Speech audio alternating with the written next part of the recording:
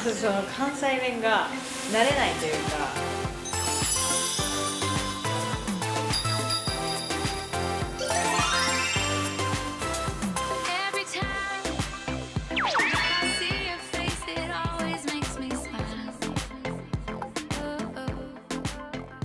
まずその自主練期間中に初めてクラブハウスに来た時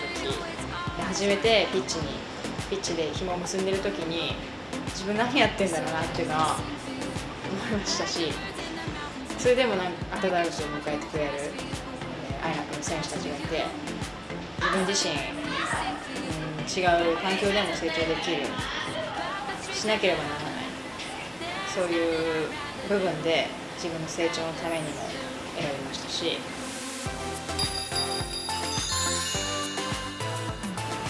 まずは9月に